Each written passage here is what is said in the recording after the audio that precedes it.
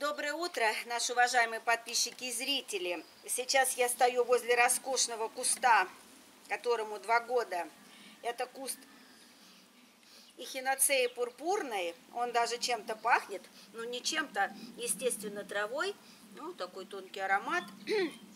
И в июле время, когда мы заготавливаем активно лекарственные травы. Но вот эхиноцея в аптеке, в аптеках, вы знаете, продается препарат иммунал. Он сделан на основе эхиноцеи. И э, укреплять иммунитет никогда не вредно, это всегда полезно, тем более в 2020 год, когда мир застигла пандемия коронавируса. И сегодня я хочу сказать, как я заготавливаю эхиноцею пурпурную. У нее лекарственными являются и корневища, и, ли, и листья, и цветы. Но корневища заготавливают весной или осенью попозже. Я заготавливаю только соцветия, цветы. А вот эти цветы, которые уже совсем распустились, заготавливать нет смысла. В них мало того, что нам надо. А в ней очень много микроэлементов, калий, кальций. Есть инулин, который тоже очень благотворно влияет на наш иммунитет. А мы заготавливать у эхиноцеи будем э, цветы, которые, вот смотрите, я показываю, только-только собираются распускаться. Лепесточки вот еще такие маленькие, запаха никакого нет цветочка, я понюхала. И мы их будем заготавливать. То есть элементарно, сейчас я наклонюсь, возьму ножницы. То есть я просто срезаю, ничего тут сложного нету. Соцветие срезала, вот так обрезала.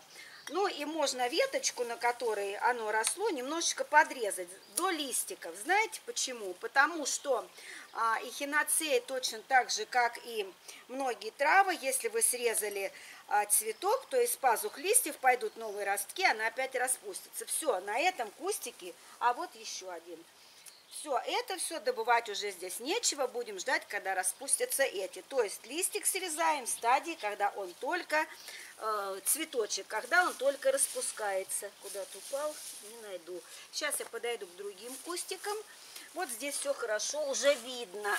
здесь больше для сбора. У меня их несколько кустов. Вот, видно, да?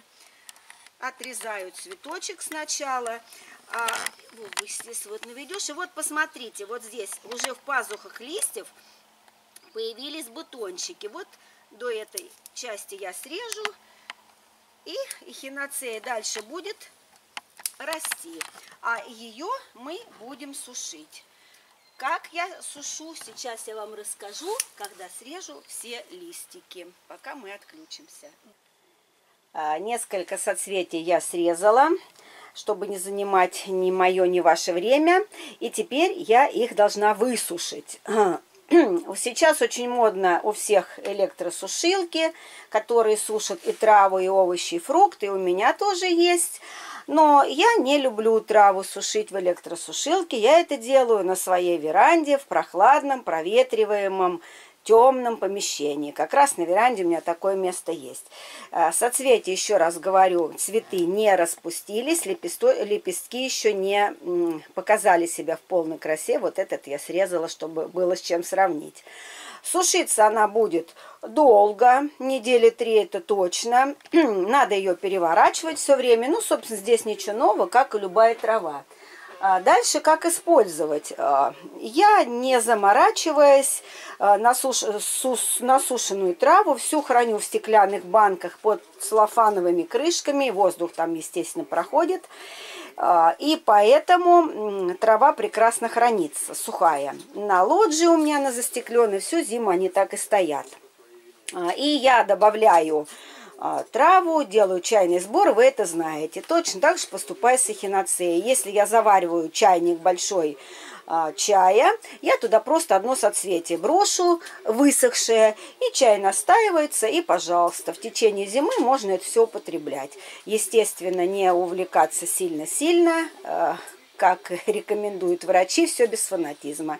И тогда ваш иммунитет не будет страдать, и ваш организм будет уже закален к стрессам, и к вирусам, и к инфекциям, и так далее. Итак, мои хорошие, будьте здоровы.